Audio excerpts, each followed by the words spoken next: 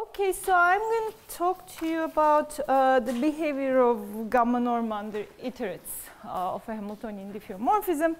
I'll define uh, some of the things uh, that will be players in the talk. And as you see, actually, as you will see, we know very little about this.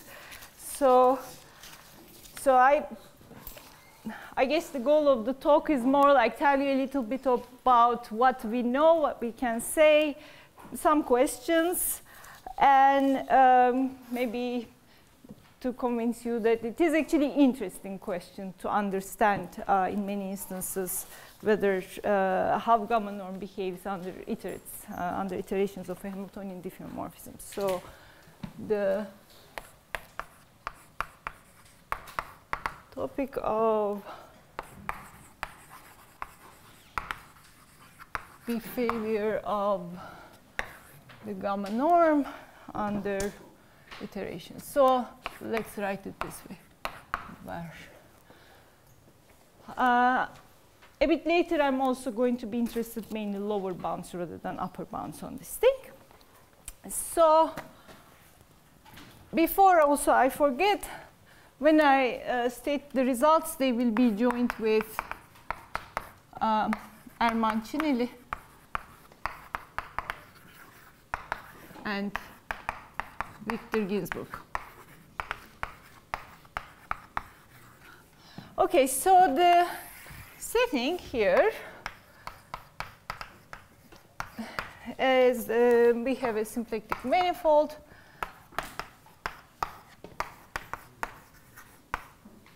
Okay, uh, we don't need to assume it's closed, but we can also assume it's closed. Maybe it is just simpler. Soon I will maybe contradict this. Uh, if not, we need to assume some kind of nice behavior at infinity. Sphere, CPN, surface of higher genus, all good.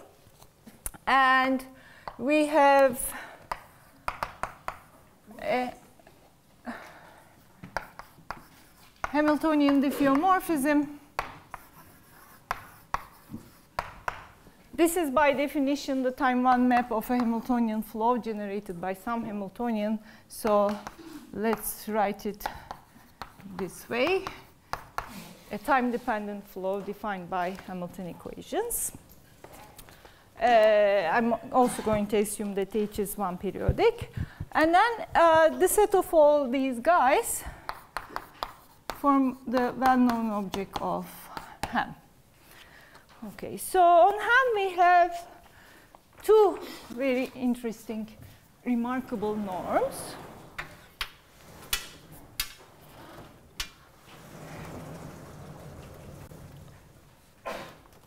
Okay. Um,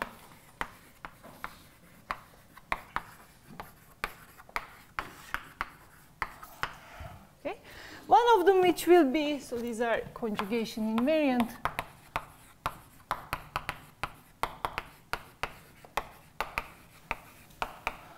Okay, so one of them will be uh, less of interest to us, but it's still important uh, to keep in mind for some inequalities and stuff.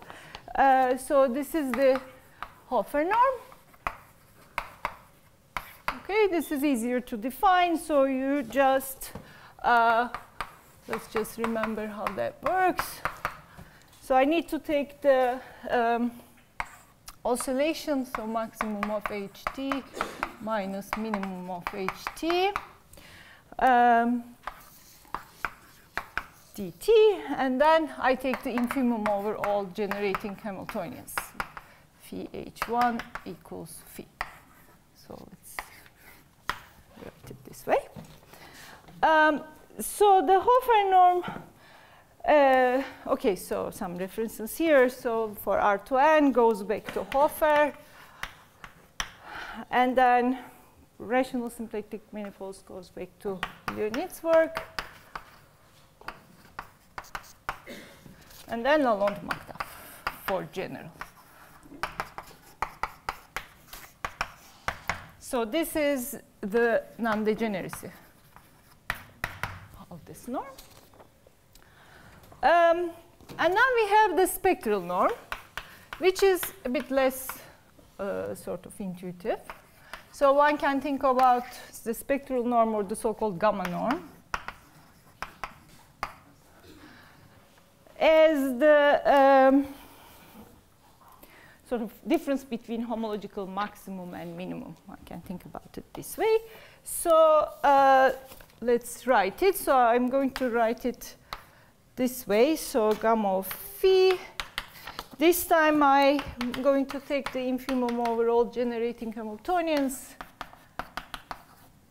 uh, by looking at the spectral invariance associated with the fundamental class. So C H plus C H inverse. Okay, like this. So this goes back to Viterbo for R2n. And then for aspherical, symplectically aspherical manifolds to Schwarz, and O, of course, in the general case. Okay. Um, these are uh, the sort of key norms we work when we work with Hamiltonian diffeomorphisms. So, for example,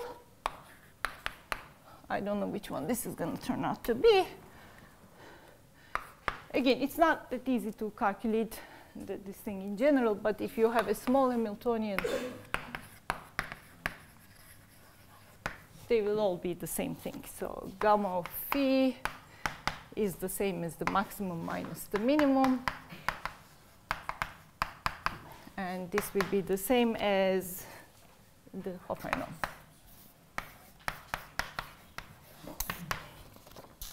Okay. So uh, of course we also have C0 norm, C1 norm, etc. on Ham. I mean we can think about all these things for Hamiltonian diffeomorphisms, but these are the two guys that actually don't depend on any other uh, structures.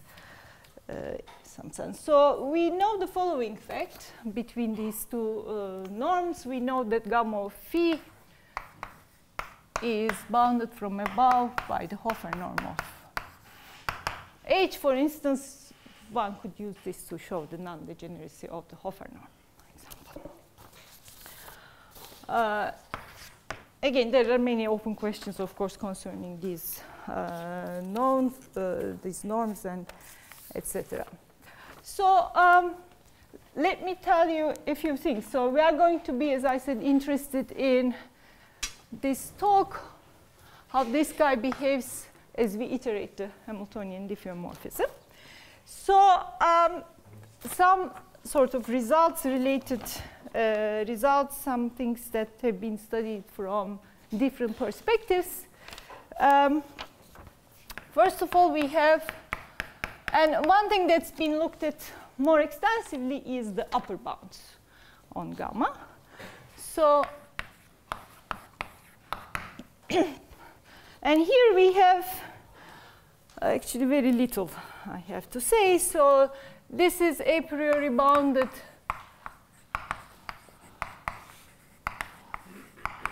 from above.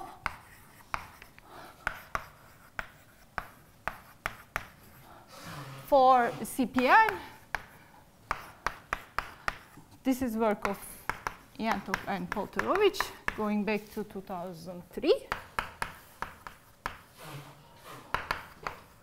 Okay, and plus some other situations, a variety of other situations which I am not going to spell out here, and this is uh, the work of Kislev and Shelukin. This is a good thing to have. you would prove very good theorems if you knew this thing for more general symplectic manifolds. But unfortunately, this is what we have. So this paper goes back to 18, I think, but it was published in 2022. So it's actually a bit earlier than that. Um, and uh, the product structure on CPN, etc., are uh, key ingredients in this in these facts. And uh, of course, I mean, maybe it, it, would be it would make sense to also say all of these these questions uh, will depend on the Hamiltonian diffeomorphism we consider. So you can uh, write down, not for CPN obviously, but for say for a torus, you can write down a Hamiltonian diffeomorphism which is bounded from above, uh, for which gamma will be bounded from above under iterations, or uh, you can also write down one for which gamma uh, phi 2 to k goes to infinity with k. So it depends on it depends on phi, right? So another thing I wanted to say, which are kind of useful things here and used often. So how these are related to the barcodes.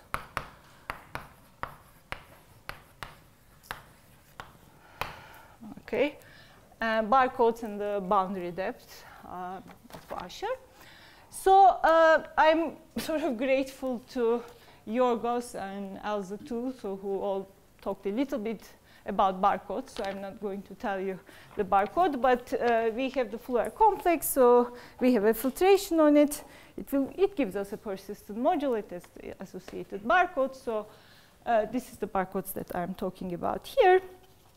And um, here you have the notion of uh, the longest finite bar, and this is introduced by Usher. It's called the boundary depth.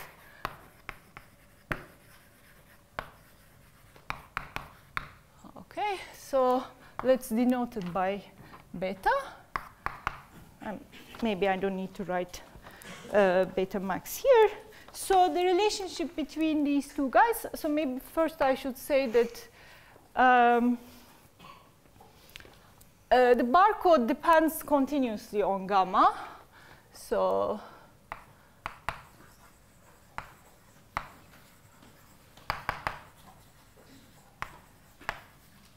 um, with respect to gamma norm, maybe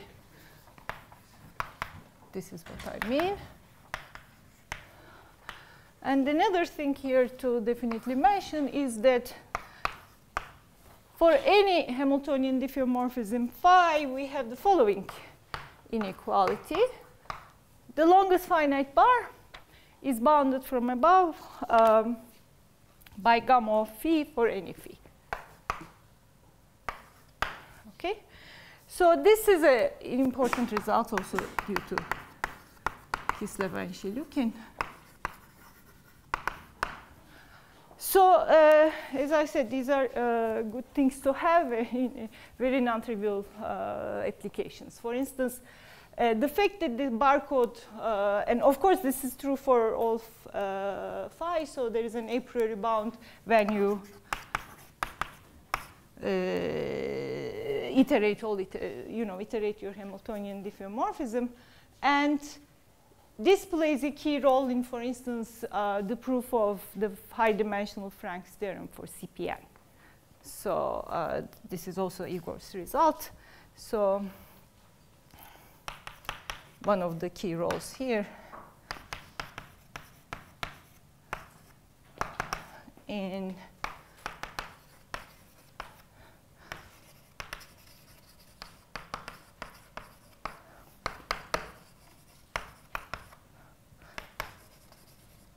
This basically, the, here the theorem says that the Hamiltonian uh, diffeomorphism of CPN has either n plus 1 or infinitely many periodic points.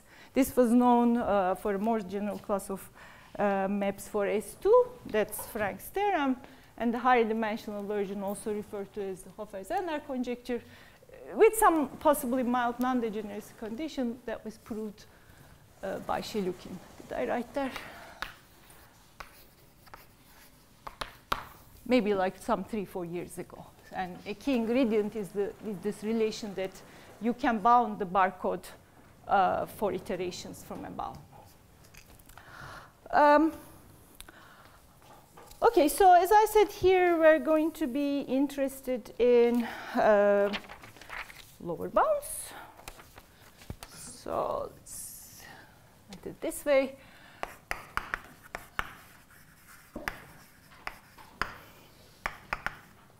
Um,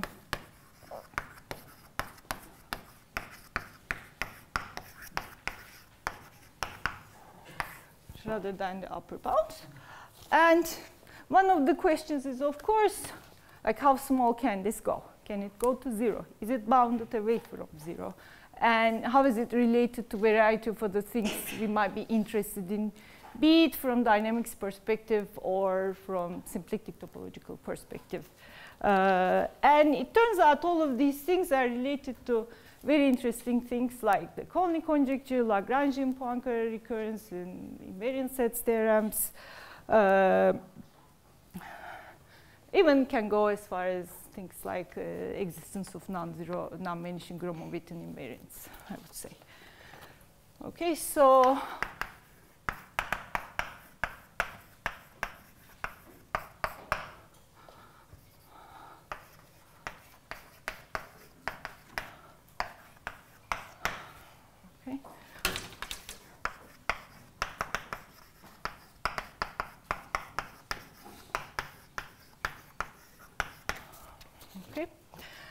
Um, let's define the following notion just so that our job will be easier, a little bit, notation must. So I'm going to denote this gamma bar. Gamma bar of phi uh, is by definition going to be the lower limit of phi under iterations.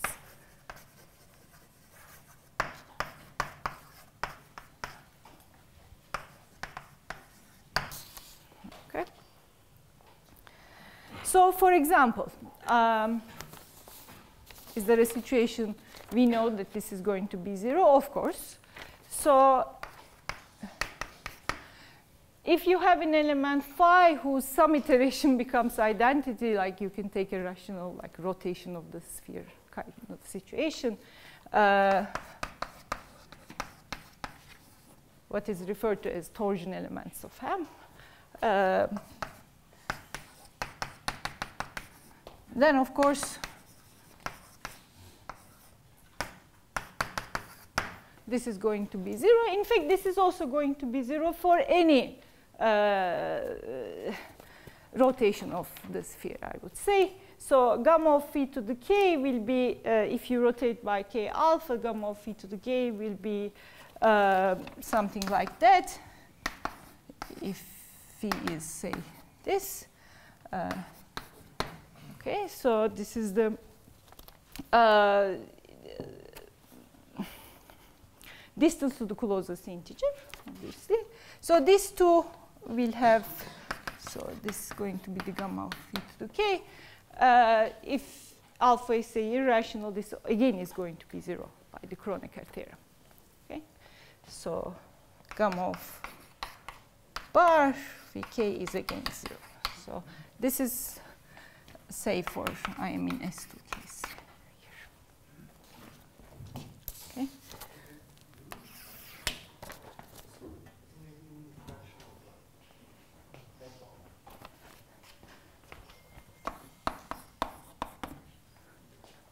I mean, it's true.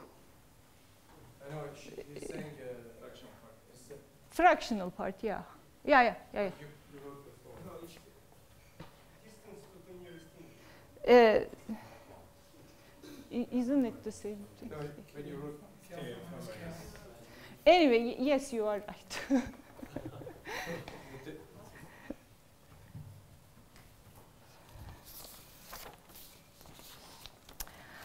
Let me see if there is anything else uh, I want to say. Okay, so of course, uh, it's a bit less obvious to give uh, maybe examples where this is going to be uh, positive or bounded from above, bounded from below. Uh, but it turns out that more often than not, it is actually going to be the case. So um, maybe.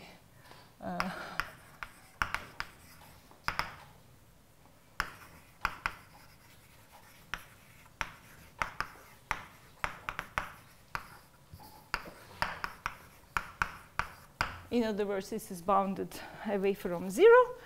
And um,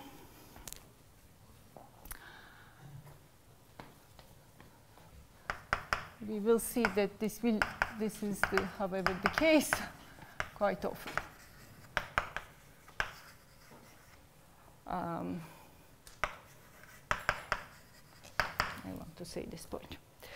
Okay, so this is sort of the, the situation we are in, but uh, what I maybe would like to do is before I move any further, let me sort of look at the whole thing in a slightly broader, uh, from a slightly broader perspective. Because after all, we are not the only ones who look at such things in symplectic uh, geometry. These objects have been studied, in, in, particularly in dynamics, uh, quite extensively. So what you can do, uh, you can just, let's forget about we are in the symplectic world. Uh, we could take just some any manifold. So, okay. And we could take a group, let's call it G, of say some smooth maps of M, so, so, so of some C infinity diffeos of M. Not necessarily all of them. So volume preserving, maybe, I don't know, something isotopic to identity.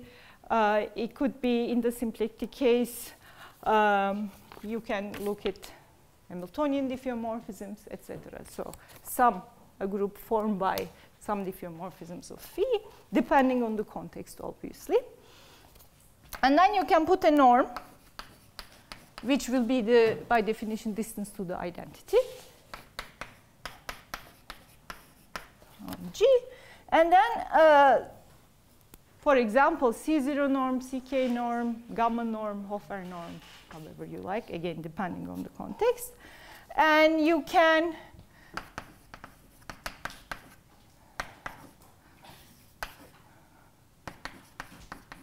or CK norm,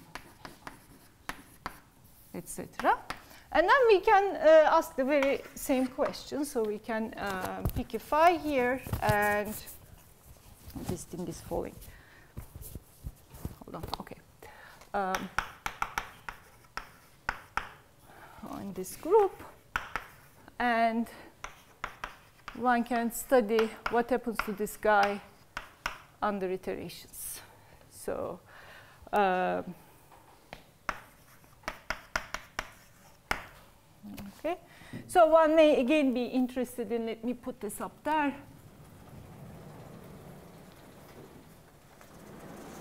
Whether or not the lower limit is going to be zero. It's just one of the things.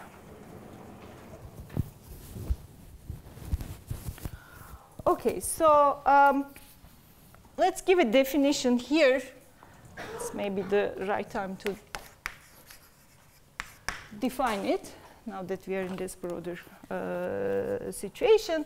So one can call uh, an element in G. So I am going to go against the grain and call it an approximate identity with respect to this norm.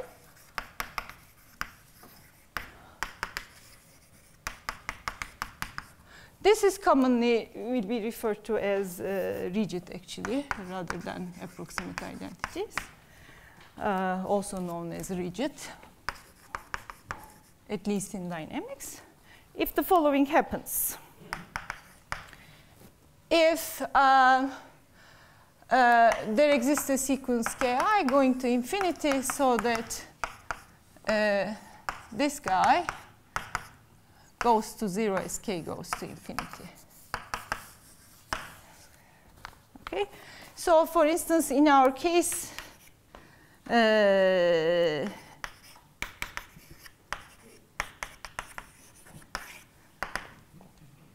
you would call a Hamiltonian, say, diffeomorphism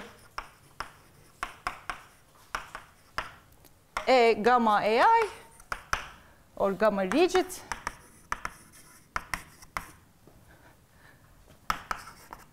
if this lower limit is equal to zero. Okay? So now, um, yes, I mean, these things have been extensively studied in dynamics, particularly with respect to norms.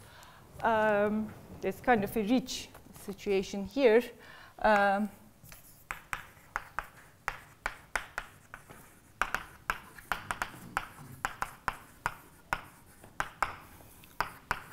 particularly concerning the norms uh, C0, C1, and more generally CR norms. I will write down a few things related to them, and there are like some non-trivial uh, sort of consequences or relations between whether or not entropy is zero is related to being, I don't know, a C0 AI or CK AI, whether or not something has a dense orbit, something is minimal, etc., etc. And so, uh, and this is where the terminology of uh, rigid comes from. So in case anyone is wondering why I'm not calling them rigid is the thing is that the properties that we usually uh, sort of consider here, for instance, being gamma AI, is just not stable at all and feels like rigid is something you also use in the same dynamical systems for some kind of stability, stable properties. So it feels like there is a bit of a mismatch. So uh, in, in our, one of our works, Viktor and I started calling them approximate identities, but this is what people refer to as C0 rigid, gamma rigid, etc., that this limit goes to zero. Okay, so I will, in the talk, I, I will use them uh, exchangeably. So another thing to say maybe, of course, this definition can be modified. For example, you could ask that this convergence is uh, in some, has some flavor. It can be exponential convergence, Diophantine convergence, so requiring the sequence have some properties. Likewise, you can also ask things like, I don't know, how often this thing should visit uh, identity? How often this norm should be less than epsilon for a given epsilon? Should uh, ki could be a quasi-arithmetic sequence, meaning the differences are bounded. And uh, there, there is terminology for such things as well. So for instance, if the sequence is quasi-arithmetic, such maps are called almost periodic. And almost periodic maps are almost identities, for example. Um, and so one can do all of these things, and they result in oftentimes meaningful, uh, uh meaningful things. Okay.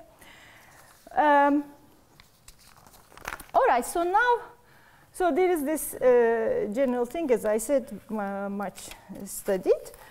Um, some, maybe one can even write down some things about if I can reach.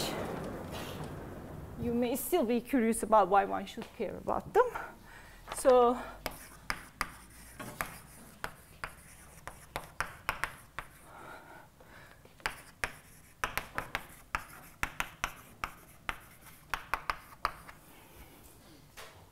For example, again, I'm not assuming I'm in the symplectic world. Let's say we have a C0 approximate identity, C0 rigid map. A C0 rigid map has the following properties to say the least. Its entropy, topological entropy, is equal to zero. This is actually non-obvious uh, to see that this is the case in, in all dimensions. Uh, it's uh, in sort of alluded to in a paper by, by Avila, Fayad, uh, Le Calvez, uh, Zhang Xu, hopefully I'm not for, forgetting any, anyone. Um, all points are recurrent.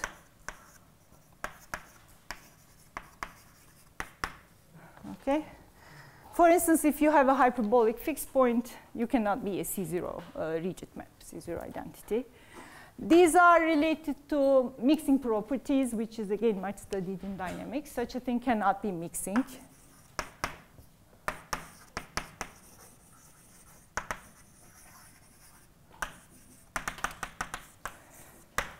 Okay. Um, a lot more. There are, they are, yes? Is M a surface here or? Uh, no, not necessarily. Yeah. C0, not necessarily. The, of course, this is easier to see in the surface case. Yeah, yeah. But this is this, you will remember like how Patrice explained to us at some point. But uh, it is a recent paper, maybe Viktor may correct me here. They, they, they have it in a paper with Avila The Pi alpha alpha, uh, but they don't really, they don't really explain why it is. But in fact, uh, it is the case, and uh, Patrice so explained to us at That's some why I point. asked if it's a surface, because uh, what I remember from that uh, paper is that uh, it, it was focused on surface then. Uh, mm, what- no, no, this is this is not necessarily so. This is true in general. Yes, I'm positive. It, yeah, All right. it's a, it has an elementary proof, but it's uh, it's not obvious actually. Uh, so so uh, again, the, the part we we can talk about it later, but it's it's half a page proof, but not obvious actually.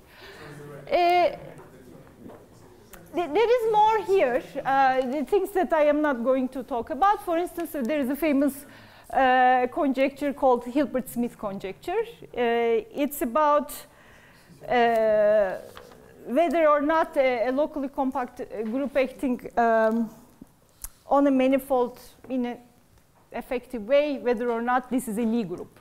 These questions are all related to if something is a, I don't know, C1 almost periodic map, etc. So uh, there is more connections here. So uh, again, the point I'm basically trying to make is that these questions are interesting and related to uh, variety of other phenomena, uh, some of which maybe some of us we've never even heard of before.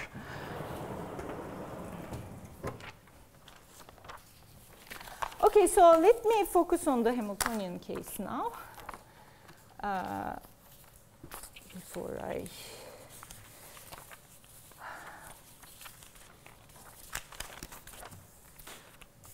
see, I didn't forget anything. All right, so let's, I need to erase the board. Is this the better one? No longer.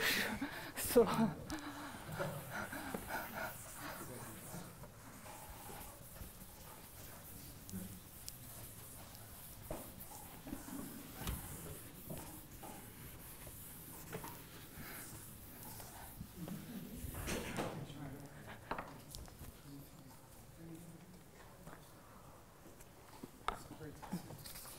so there is an apparent, um, this brings us uh, to the following thing. So let's now focus on the symplectic world and the Hamiltonian case.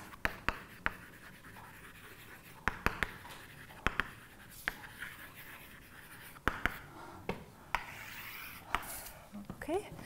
Uh, so there is basically an apparent connection, I have to say, um, between manifolds which admits pseudo rotations. Yes, Uh, why do you call it an approximate identity element? Uh, because Like, the, because this is the norm is distance to the identity.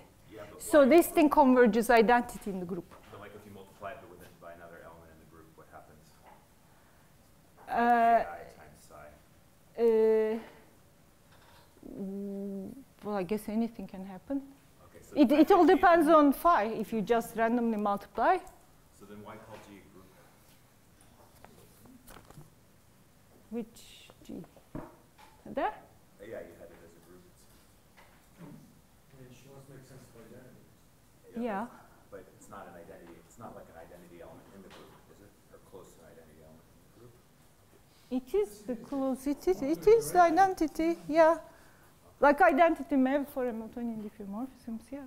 Maybe. Uh, please ask me this, Maybe I'm misunderstanding. it is the identity. Yeah. Okay. So there is a uh, relation between um, sort of pseudo rotations, or maybe I should say.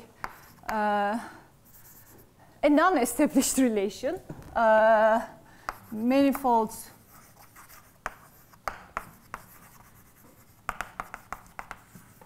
admitting uh, gamma rigid maps and uh, sort of, let's put it this way, or gamma approximate identities, and the ones that admit pseudo rotations.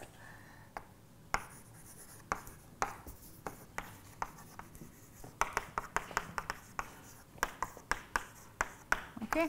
So a pseudo-rotation, many of you know the definition, so I'm going to stick to the uh, definition that if it, let's call a Hamiltonian diffeomorphism a pseudo-rotation if it has the minimal possible number of periodic points and that this number is finite. So um, P with maybe later on I'll use so periodic points minimal and finite.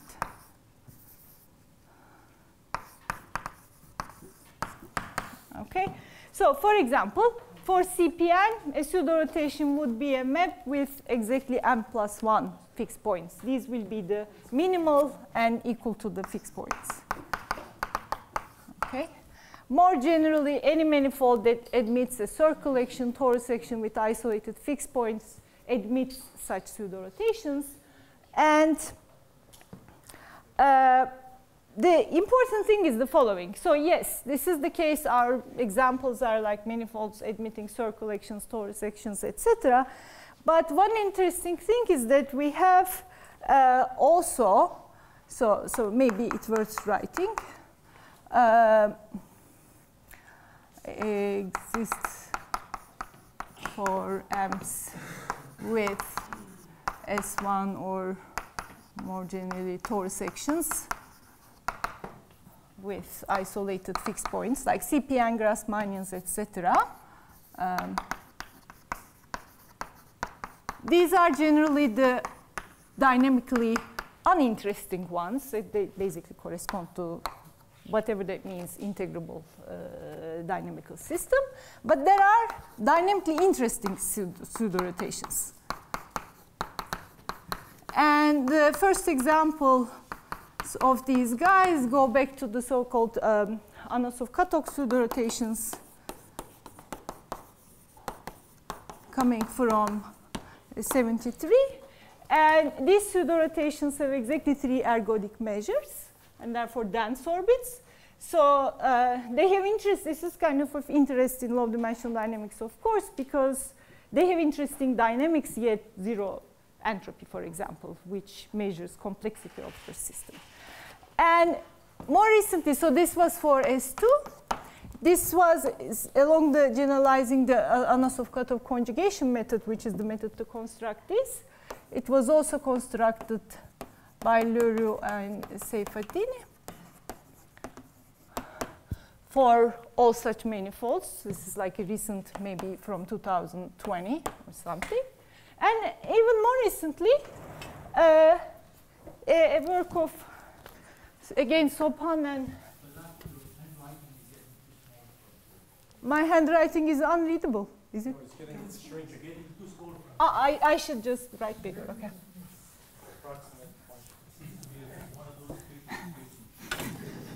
I am approaching zero. Okay, so maybe um, there is yet a more recent work where uh, I don't want to write Dushan's last name incorrectly.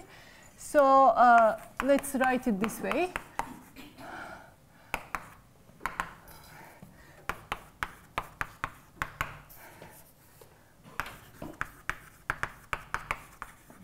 So what Dushan and Sobhan is basically took the essential points which are captured by all known pseudo-rotations and uh, in a nice way defined something, gave the definition of something what's called an, and they called it Anosov-Katok pseudo-rotations.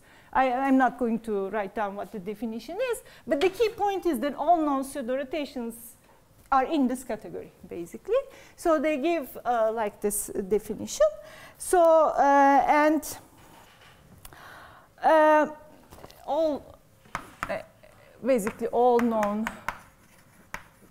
PRs are here at the moment.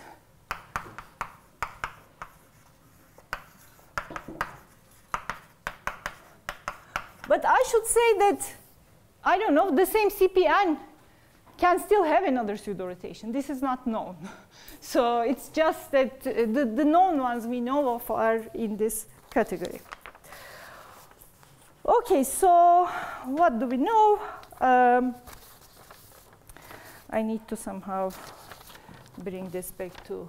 Uh, so it's good that I now introduce you the rotations. So now let's go back to our gamma rigid maps because these basically are the only known source of gamma rigid maps or gamma approximate identities at the moment. So uh, some remarks and known things here. Uh, what is known in this uh, case. So first of all, the study of uh, C0 rigidity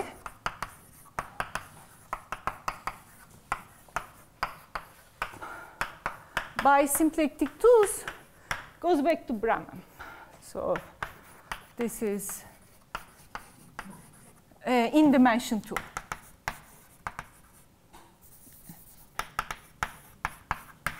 Okay, where he studied pseudo rotations of the disk um, and showed that an,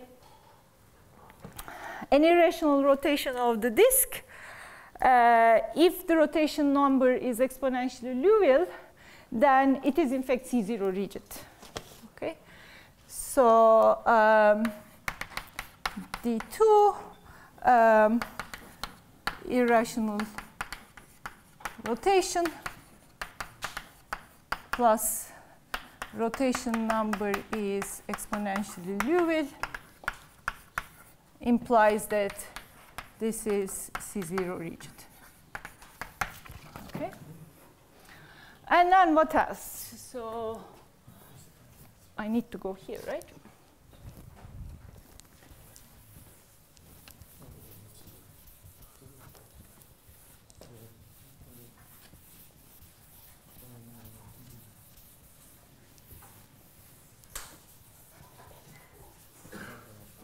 And then gamma rigidity. Yeah. wanted to write pseudo rotation, right? I haven't written, or You wrote irrational rotation. I meant pseudo rotation. Yeah, yeah, I meant pseudo rotation. said pseudo rotation. A PR. Thank you. Let's write it this way. Okay, and then gamma rigidity. I believe it goes back to my work with Viktor, again via symplectic tools. And gamma rigidity um, in higher dimensions for CPN.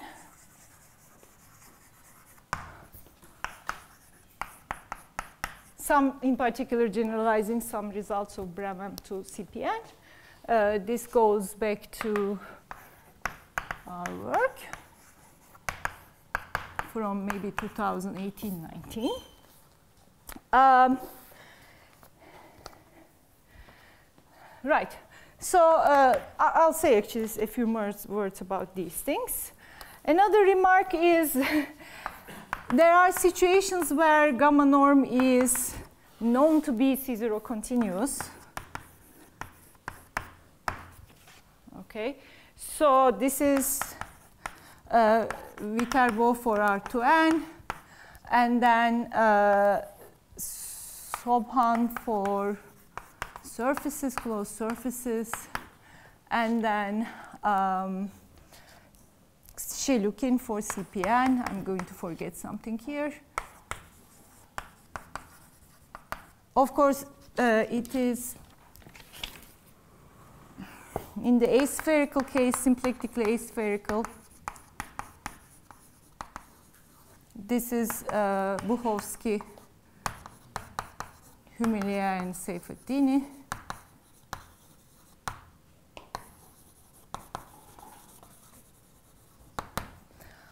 And then it's also known in the negative monotone case more recently. And this is Kawamoto.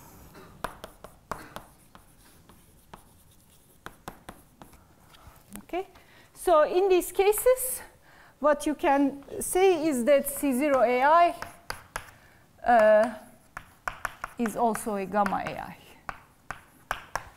because of the continuity properties of these things. Okay. Um, other facts an observation due to Polterovich, for instance, is that if you have a symplectically aspherical manifold, you cannot have a C1 almost identity. Um, here is a question. Again, we can attribute it to Leonid. Uh, let's say I have a symplectically aspherical manifold.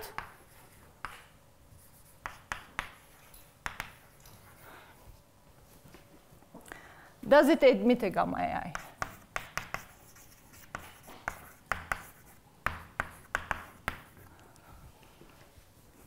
So something as simple as that is, is still uh, not known. So let me try to speed up a little bit.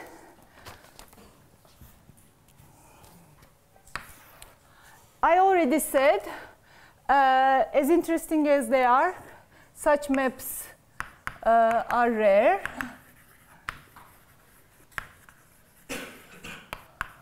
Okay, so basically the only known examples uh, are all pseudo-rotations,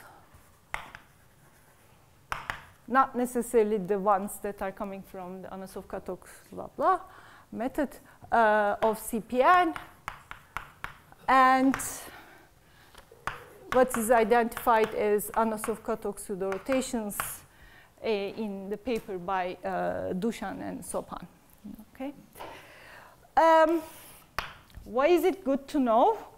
As I said, because you can say a lot of non-trivial things about them. Uh, about, you know, they have very non-trivial dynamical consequences. I will just state, maybe not talk much about them due to lack of time, but uh, it's very timely to state some of them.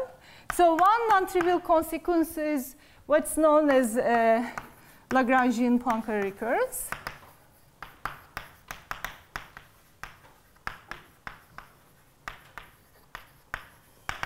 So Lagrangian Poincare conjecture, recurrence conjecture is conjectured um, by, again, uh, Viktor and Claude independently. You claim the following thing. For some sequence of ki's, so for some conjecture, essentially wide open still. So for some sequence ki going to infinity, the images of a Lagrangian submanifold under the iterations of phi will intersect itself. By the way, I didn't say it, but in all, this, all the talk, you assume that phi is not identity. And uh, in this case, of course, you want to assume that uh, um, L is displaceable, right? Otherwise, this is trivial. All right.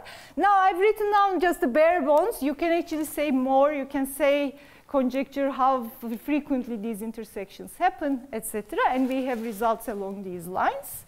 So this conjecture, um, and the density, the frequency of this intersection is, can be bounded from below by some symplectic capacity, homological capacity or as uh, remarked in, uh, again, the same Kislev and Shelukin paper bounded from below by, uh, not just that, by some constant and to the power of the minimal area of a holomorphic disk uh, on L.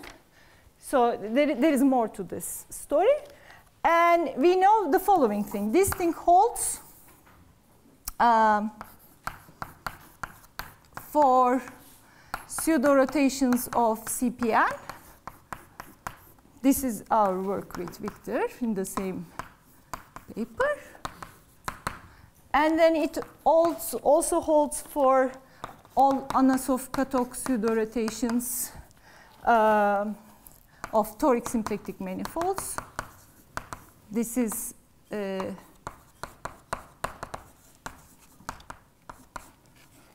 I'm pretty sure this is incorrect pronunciation, so I'm, my apologies. And there is another class, actually, we know that this holds. um, I'm going to keep it separate, and this is a work of Polterovich and Shelukin. So in these cases, the Hamiltonian diffeomorphisms are pseudo-rotations, but Lagrangian can be anything. And in this case, you're in dimension 4, if I remember correctly. Uh, phi can be anything, but the Lagrangian is specific. Uh, let me write it this way. And it is, of course, natural to think of this as related to packing type questions. And in fact, this result uh, is, comes more from packing thing. Sort of, this is uh, another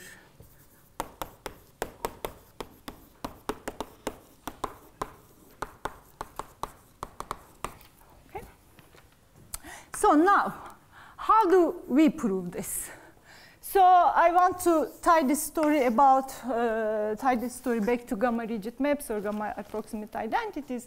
The essence of this in both of these proofs, so this is 18, this is 22, is actually what we prove is that a pseudo, in, let me talk about our work, a pseudo rotation, any pseudo rotation of CPN is a gamma approximate identity. And once you have a gamma approximate identity, from this you can obtain the Lagrangian Poincare recurrence uh, theorem. So this follows from, uh, let me now write it, gamma rigidity. Okay. Um,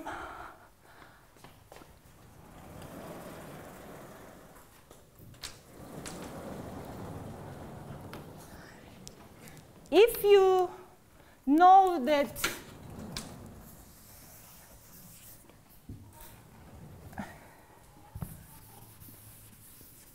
I'm assuming I still have 10 minutes with the time it took to tie me up to this thing, so not five, but 10.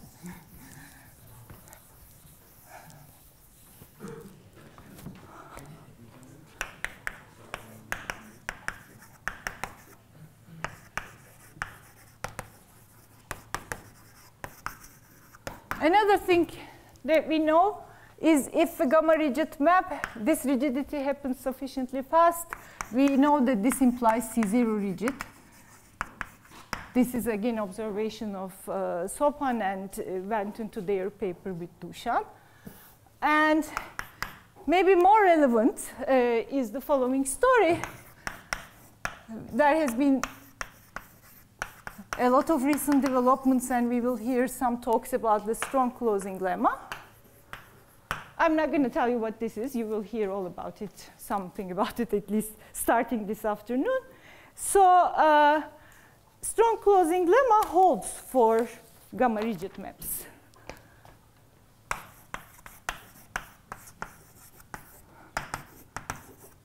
I may be forgetting some assumptions or anything. So this is a recent result of And Seyfaddini.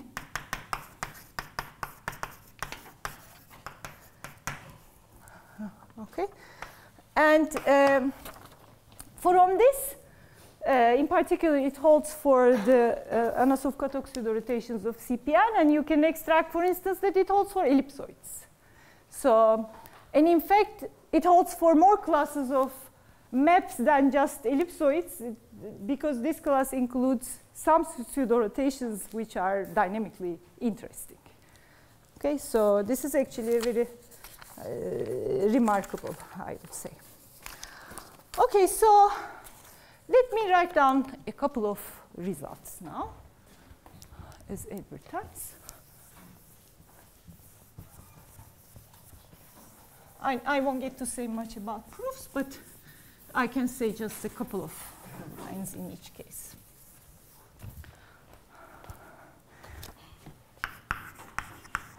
Here is a theorem. Let's call it theorem one. It is, as I said,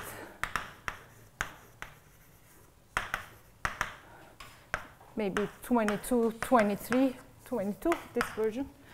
Okay, so if phi is a Hamiltonian diffeomorphism, M is any closed symplectic manifold, uh, maybe some, you know, you need some Floer theoretic machinery. So if you know if you have enough hyperbolicity, then you're going to get a lower bound for gamma bars. So uh, let's write it this way. Number of hyperbolic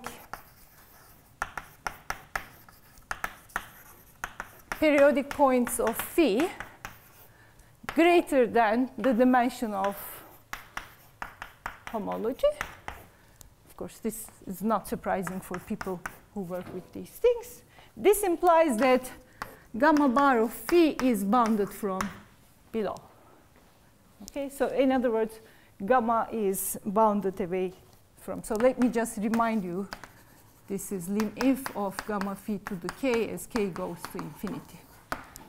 Okay, so this sequence of gamma phi to the k is bounded away from zero. Okay, so this is one theorem. I can say a few words about the proof if I have time. Let me also write a second theorem.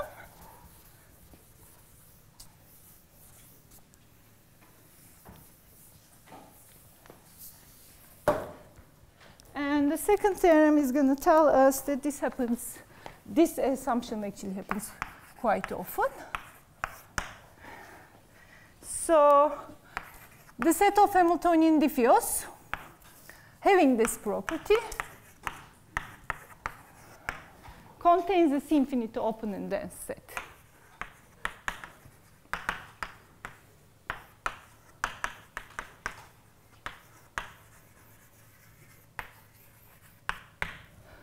So you certainly expect this to happen most often. Now, um, there are several consequences of this theorem. For instance, for S2, I don't know.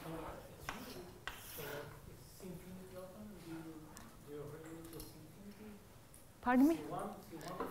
It could be C1. Uh, I just wrote down the version that I am sure that it is correct. Uh, but, but we, I think it, it, may be C1, in fact. Sort of. I just wanted to write down something I'm sure that it is correct. Um, okay. Yes, ah, that's very, thank you, Viktor. Uh, I, I, let me say that some things here do overlap and maybe follow. There was a paper in back in uh, 2000, maybe 21 by Sugimoto where the title, I think, was on the generic only conjecture. So some uh, these of these conditions actually some situations here that one needs to deal with overlap with the things that uh, Sugimoto does or deals with. So let me definitely give credit here. So uh, quite a bit of stuff is already worked out here. Uh, our argument is somewhat different. In fact, we use strong closing lemma to, to get this result, interestingly. Uh, there are lots of corollaries, for instance, uh, of this theorem.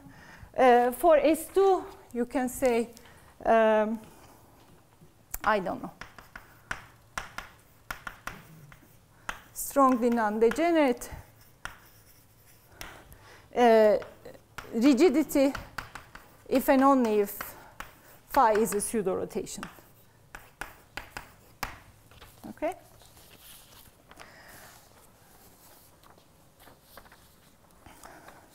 Again, there are entropy-related consequences, etc. I can write some of them. But maybe I would like to say just a few words about the proof of this theorem. Where do we get this uh, positivity? So there are two ingredients of this theorem. One of them is energy crossing, that to approach a hyperbolic point, you need, uh, via a Floer trajectory, you need to have a certain amount of energy. This is bounded from below uh, a priori bounded from below. And this bound is independent of iterations. Of course, it is extremely important. We are dealing with iterations here. Okay, so one ingredient in the proof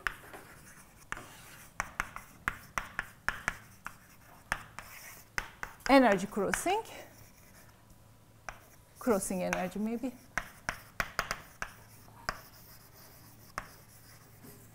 Okay, so energy crossing um,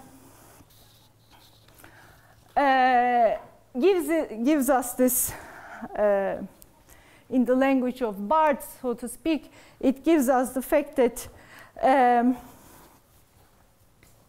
basically if you want to connect, if there is uh, any bar connecting to related to hyperbolic point with hyperbolic thing will be the endpoint, must have energy at least, uh, or barcode bar length, at least as much as needed as the crossing energy.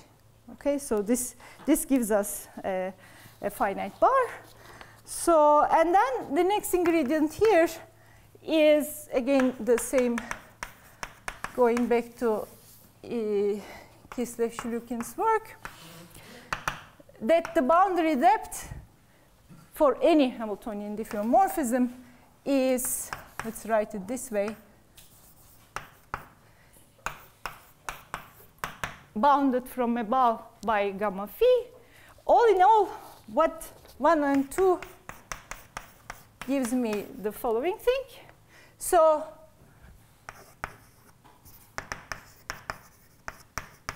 Okay, so that's a Floer trajectory, possibly with endpoint a hyperbolic orbit. This is bounded away from zero. I'll stop in a second. So what you get is this. Here is the boundary depth for all iterations. Above bounded by gamma of phi, uh, uh, gamma phi to the L, below bounded by C infinity, my crossing energy, to speak. Uh, and then the fact that we get a finite bar, of course, it comes from the assumption that you have more than dimension many hyperbolic points. Uh, because this is this infinite bars give you the dimension. If anything extra needs to give you something finite. And I am expecting someone to make this remark. Is it the time to use triangle inequality? It is, pretty much. So at this stage, to finish the proof, you need to do triangle inequality and argue by contradiction, basically. Thank you.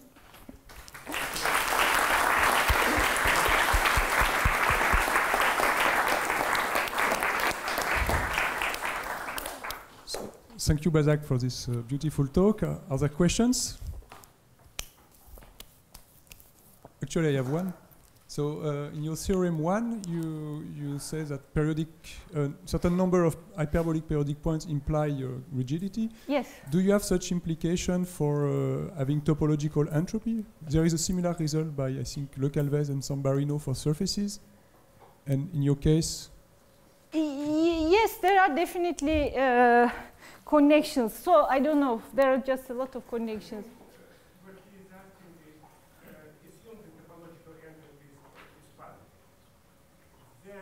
Yes, gamma bar is positive. Uh, the, uh, yes, certainly. That, that, that, I mean, that comes from, for surfaces, all of this entropy comes from horseshoes. Mm -hmm. You have infinite many hyperbolic points, in particular periodic points. Yes, you do have. Yeah, there were a variety of yeah, corollaries that I did. Yeah, the question was, can you, if you have enough hyperbolic points, can you prove that topological Ah, no, no, yeah, if that's the question, no, you cannot. uh, make conjecture,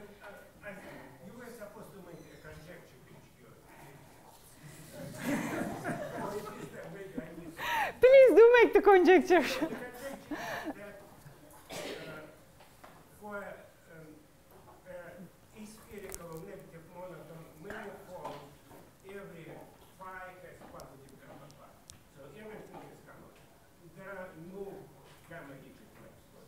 Yes, yes, yes, yes.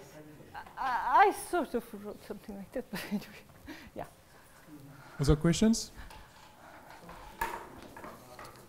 Yes. Uh, yes, uh, just give me a second. I don't want to. So the game there is um, okay. So what do you do? So the main ingredient there is actually Birkhoff-Moser uh, theorem, I have to say. And Birkhoff-Moser theorem in a way that is uh, actually worked out in a paper by Marie-Claude Arnaud. And Marie-Claude Arnaud tells you that if you have an elliptic orbit in a neighborhood, you can get infinitely many uh, hyperbolic orbits. which is a bit uh, more than what the regular Birkhoff-Moser theorem says. So here what we do is, so you, you take a phi and if you have like, uh, and obviously you need to deal with a case where this guy doesn't have any infinity neighborhood. Uh, uh, well, this guy should, in any neighborhood, should have some gamma rigid maps in it. So then what you can do is use the strong closing lemma. You can perturb this thing and get a periodic orbit because of the, uh, Sobhan and Erman's results. Okay, then you can also further assume that this thing is uh, non-degenerate by another small perturbation. And then uh, you ask yourself, what this kind of periodic orbit you have in this? So if it is non-hyperbolic, then you should go and apply Marie-Claude's result in the neutral directions. And eventually, in some finite number of steps, you're going to get a hyperbolic orbit, and you can also do it, uh, keep doing it, to get the sufficient amount of hyperbolic points needed here. And if you end up with um, a hyperbolic point as a result of the strong closing lemma and further perturbation, well, you can keep doing the perturbation. You can do it in other ways and just get as many as. So basically getting a certain number of fixed number of hyperbolic uh, points is just not a big problem, basically this way. So just roughly this is the idea.